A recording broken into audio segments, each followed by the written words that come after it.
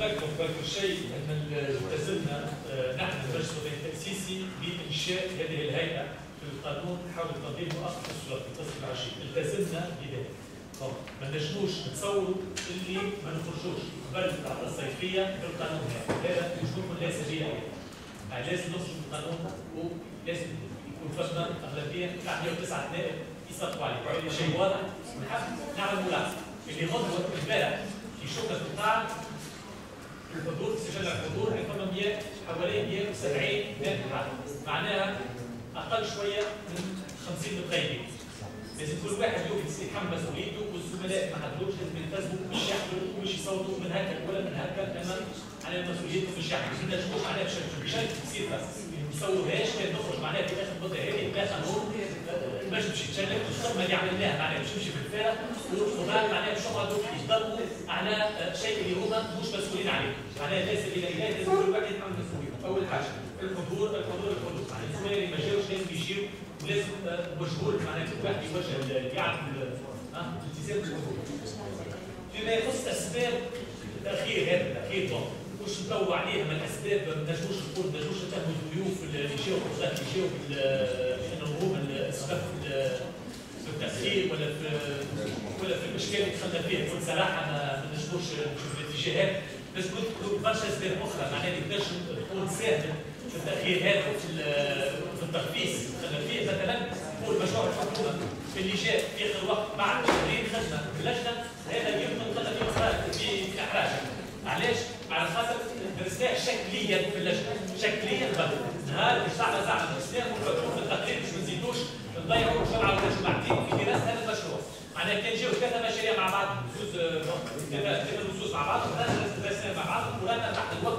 ويمكن درسنا مشروع آخر في الوقت هذا مثلا مشروع القانون على الهيئه بتاع الانتخابات ناخذ التوصل لكن هذا على الاسباب وما نصوتوا على على الموضوع. هذا ثم على الاسباب فيما يخص الجلسه لازم نكونوا صار في الجلسة العامة هو اللي صار في أي جلسة حتى الدور لازم نكونوا عمليين الحلول لازم نقاوم معناها لازم نقاوم بالوسائل اللي عندنا تو اللي عندنا في الوقت الحالي.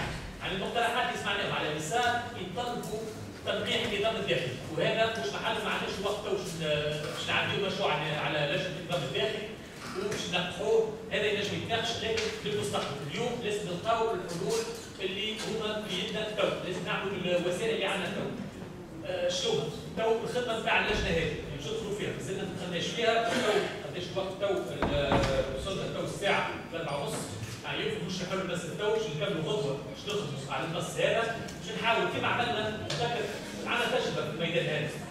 اللجنة الأولى اللجنة الأولى اللي تعملت في المجلس هذا هي اللجنة حول اعاده القانون حول تنظيم مؤقت للسلطات الحكوميه دونك عملت خدمه وصفات المقترحات عملت صيغة توافقية ووصلت بها اللجنة وبعثنا بها الوقت على هذا هذه هي الخدمة اللي إحنا مقررين باش نعملوها غدوه وصلوا الخدمة مش مش الجلسه العامة في مقترحات بعد النائب الحر باش يقول وافق ولا مش وافق ولا باش يعمل مقترح لكن باش نسألوا الخطه بطريقه هيك باش نعملوا مجهودنا باش نسألوا الخطه بطريقه هيك. بون في فيما يخص آخر موضوع موضوع الاستقلالية.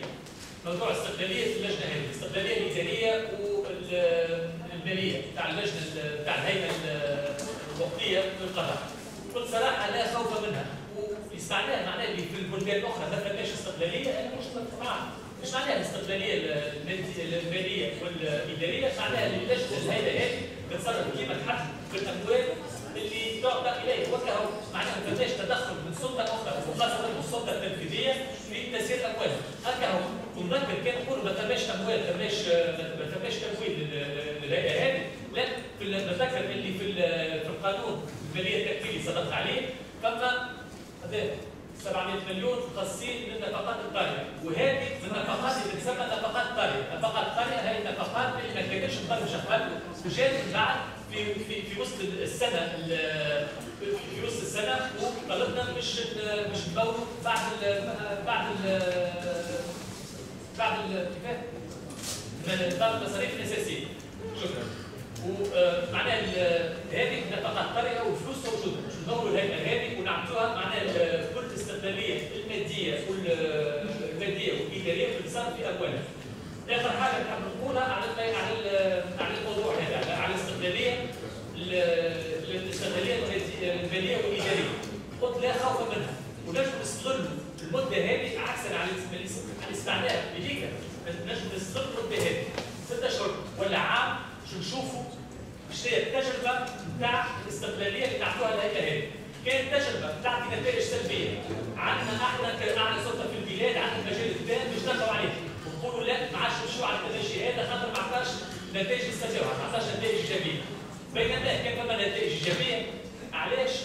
ما نسمحوش رواحنا باش نمشيو في اتجاه التجربه هذه وأنا نقول باش نكمل هذه باش تكون الخطه نتاعي التجربه هذه باش نعطيو الاستقلالية اللجنه هذه تنجم تكون هي التجربه الضروريه باش نشوفوا كان تمشي ولا ما تمشيش. والتجربه اللي باش تعطوها الهيئه هذه كان تشوف التماشي هذا. نعطيوها استقلالية. باش تفيد الهيئات الكل الاخرين باش تعملوه.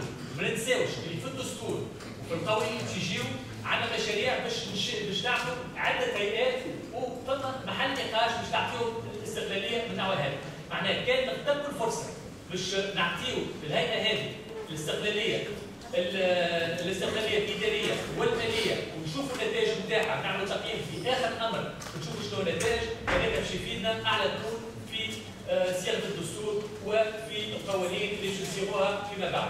وشكرا على الاستماع وسامحوني كنطول